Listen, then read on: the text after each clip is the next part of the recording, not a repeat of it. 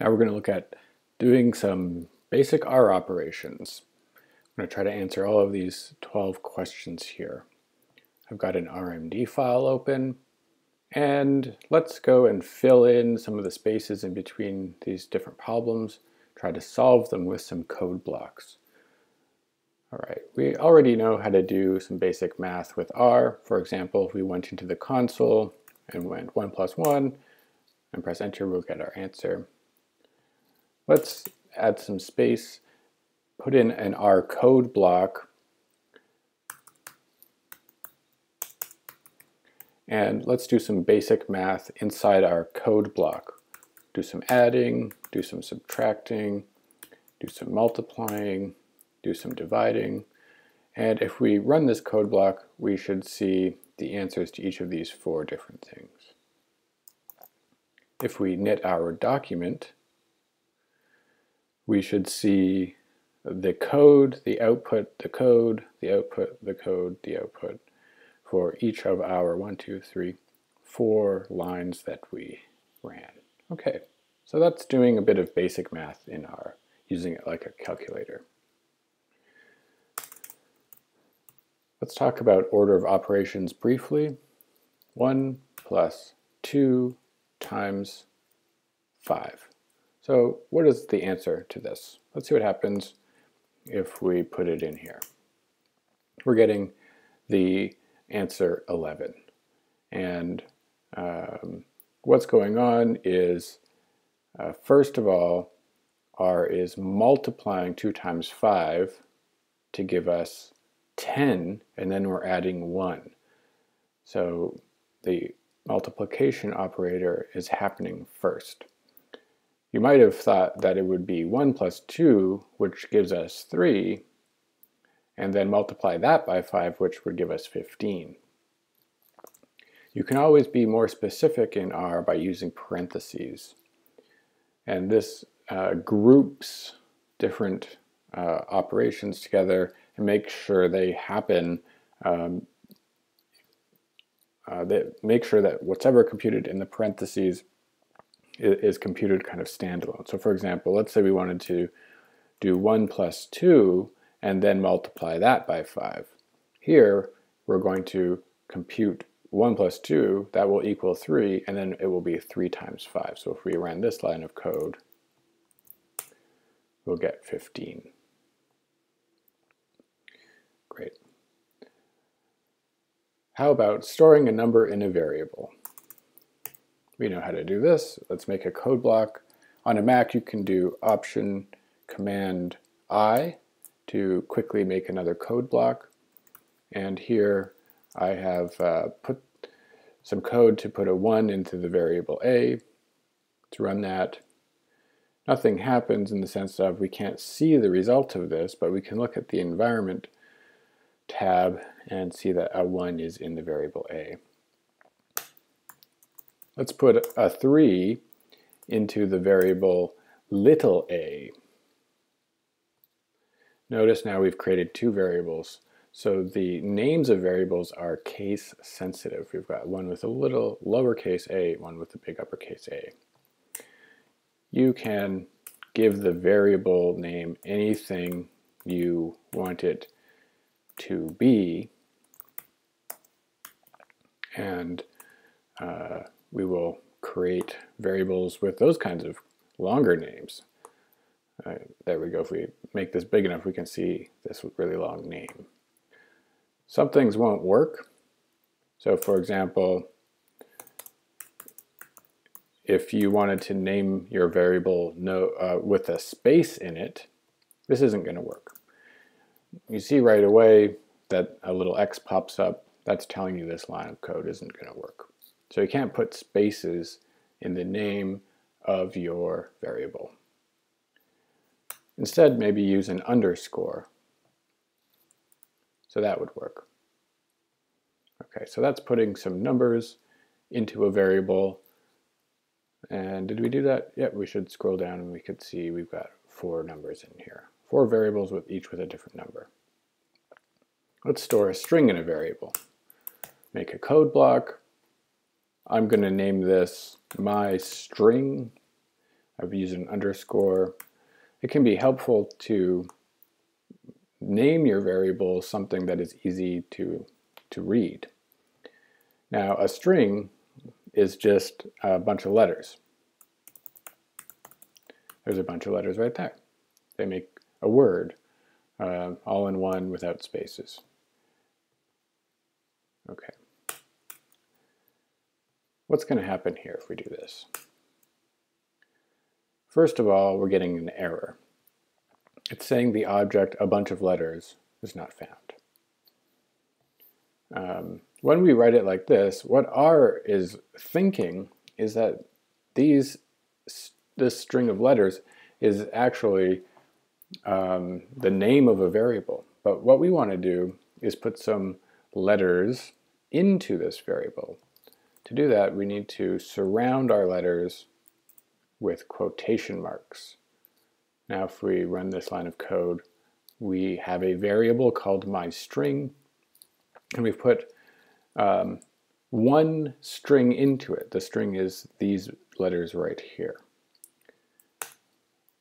Let's call, let's make another one just to give you an example. So if I wanted to put a bunch of A's into there, or let's say uh, the word tiger, if we did that, um, now we have the word tiger in that variable. So that's storing a string. We could store one letter if we wanted. Um, how about the letter B? Great. And I've just run that line of code by pressing Command Enter, or you would do Control Enter on a PC. So now we've got these different variables. Each of these variables has one thing in it, either a number or some letters. Let's talk about how we can store multiple number, numbers in a variable. First of all, make an R code block. I'm going to make a variable called multiple numbers. And to store multiple numbers, we're going to use the combine function, otherwise known as the C function. So we begin by writing C in two parentheses. Now we can put as many numbers as we want in here, but every single number needs to be separated by a comma. For example,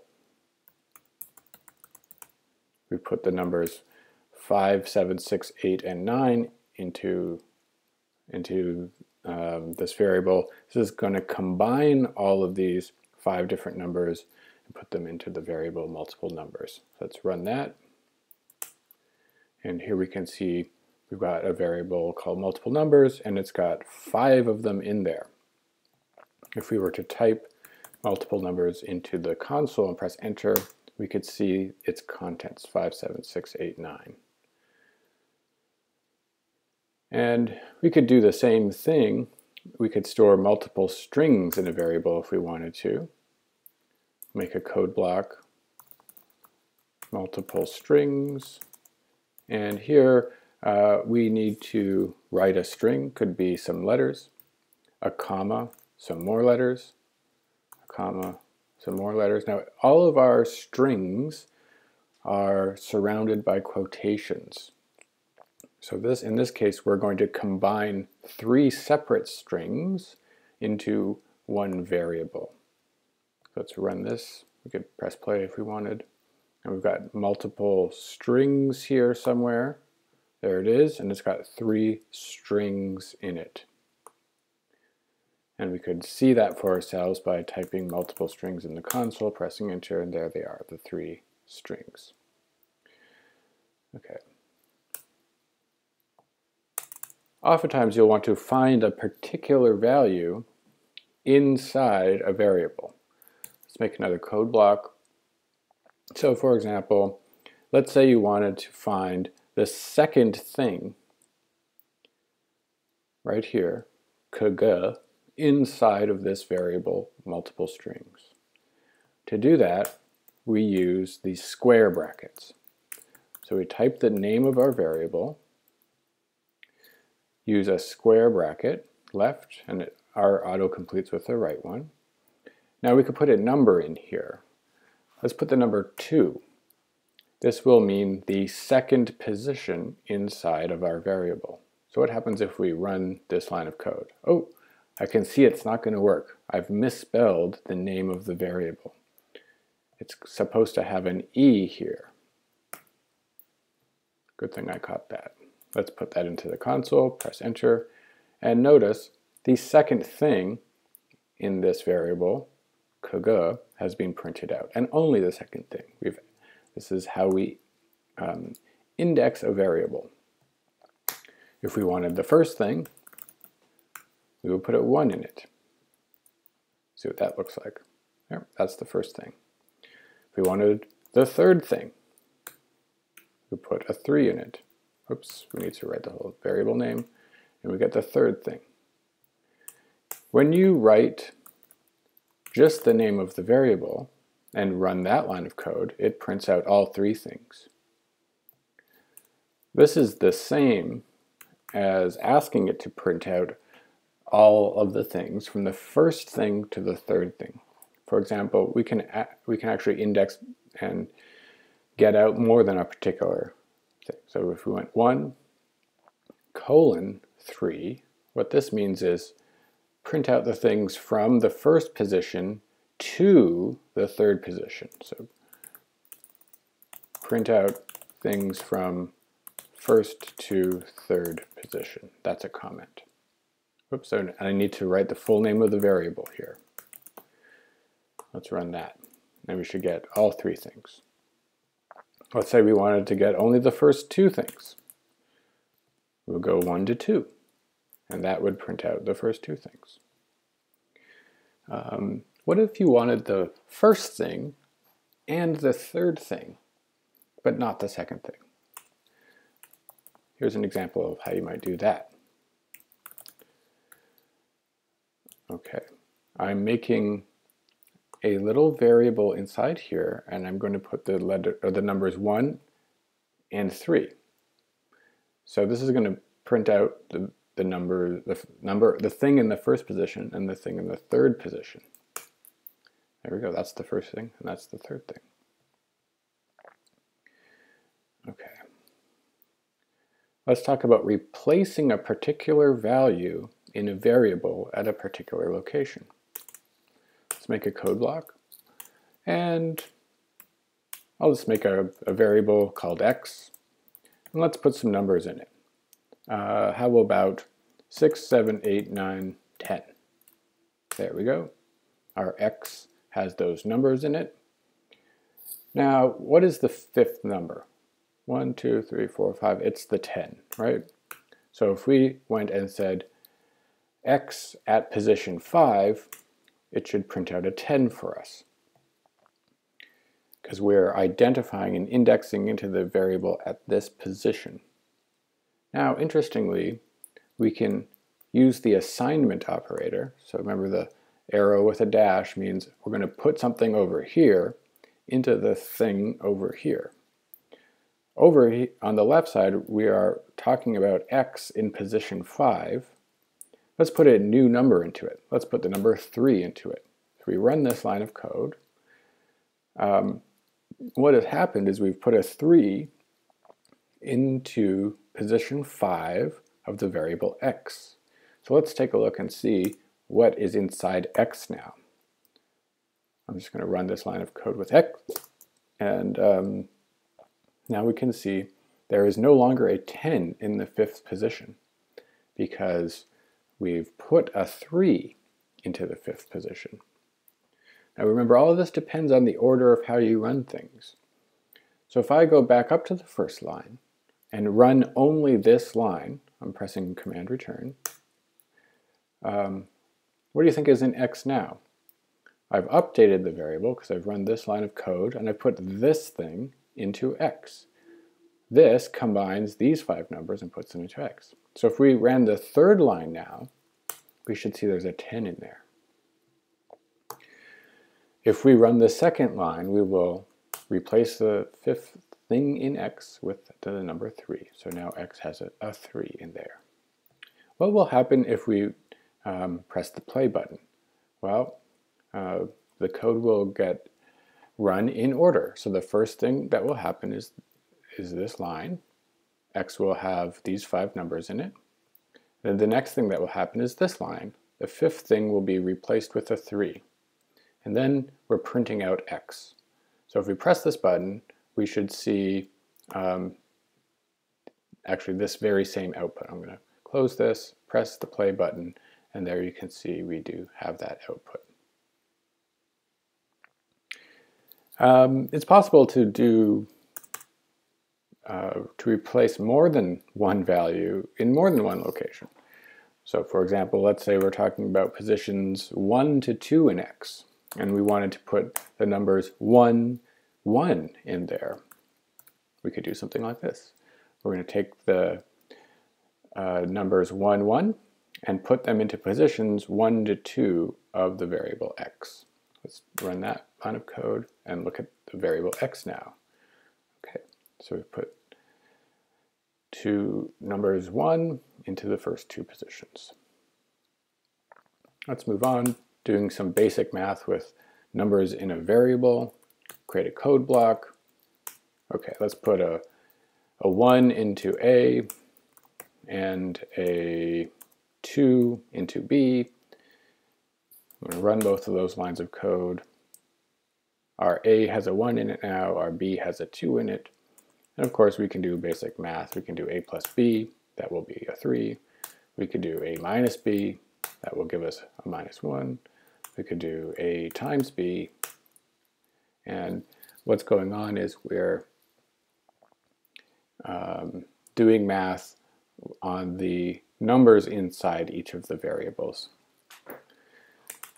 R is pretty neat. You can do uh, math across a whole bunch of numbers in a variable. So let's say that our variable a has a whole bunch of numbers.